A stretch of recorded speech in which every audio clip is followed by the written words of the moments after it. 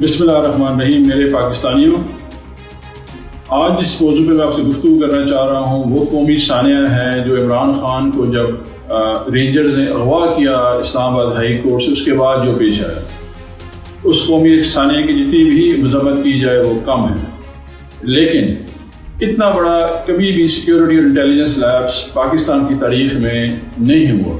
Usama bin Laden کے جو واقعہ اس میں یہ ہوا، سلالہ میں ہوا.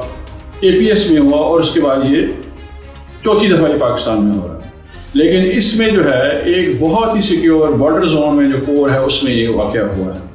تو میرے پاکستانیوں، اس وقت ایک منظم میڈیا کیمپین چلائی جا رہی ہے، جس میں تحریک انصاف کے لیڈران اور تحریک انصاف کے چیئرمین اور اس کے ورکروں کو اس میں مورز الزام ٹھہرایا جا رہا ہے۔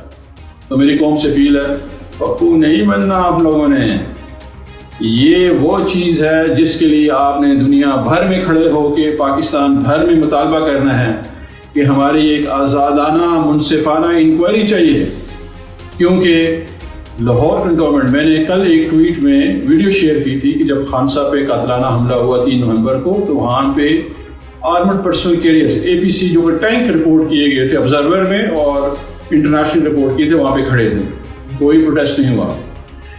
کور کمانڈر کے گھر کے سامنے جہاں پہ کوئی چار پانچ لیئر سیکیورٹی اور انٹیلیجنس سٹرکچر ہے وہ بائی پاس کرتے ہوئے یہ موب وہاں پہنچتا ہے ان کے پاس جو ٹی وی فوٹیج دکھائی جاتی ہے وہ صرف ڈنڈے ہیں کور کمانڈر کے گھر کے سامنے سی سی پی او لاہور ہے مال آف لاہور ہے دو بینک ہیں دو پیٹرول پمپ ہیں متعدد دکانیں ہیں اور ساتھ وہاں پہ جو ہے آرمی میسج بھی ہے لیکن موب جا رہا ہے کور کمانڈر گھر میں اور ایک کنکریٹ بلڈنگ جس طرح منظم طریقے سے جلاتے ہوئے دکھائی جا رہی ہے، تو میں نے کسی بھی موب کے ساتھ نہ کنٹینر دیکھا، نہ کوئی کنسٹر، نہ کوئی بوتل جس میں پٹرول کیمیکل نہ کوئی گاڑی گئی جس میں کیمیکل پٹرول ہو۔ وہ کیسے جلا؟ یہ بہت بڑا ثانیہ ہے ہمارے ملک کا۔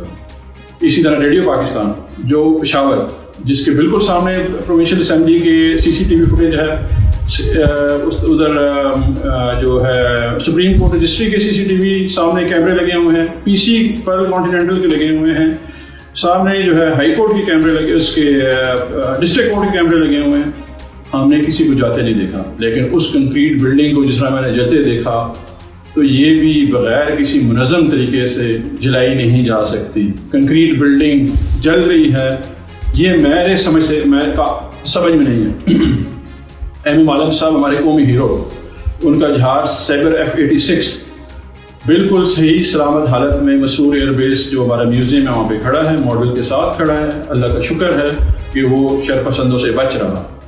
یہ جو میاں والی جس کو عالم بیس کہا جاتا ہے، اس کے سامنے جو جہاز تھا، وہ ایف سکس چائنیز ماڈل جو کھڑا تھا، اس کو جو ہے جس طریقے سے جلایا گیا، ایک میٹل کو جلایا جائے، جو میں نے شولے دیکھے تو کوئی اس میں کیمیکل ضرور یوز ہوا ہے۔ تو اس کا مطلب ہے جو لوگ بھی آئے وہ ایک منظم طریقے سے آئے۔ ان کو یہ پتا تھا کہ یہ کیسے جلایا جائے گا۔ اور اس، یہ سازش کیسے کی گئی؟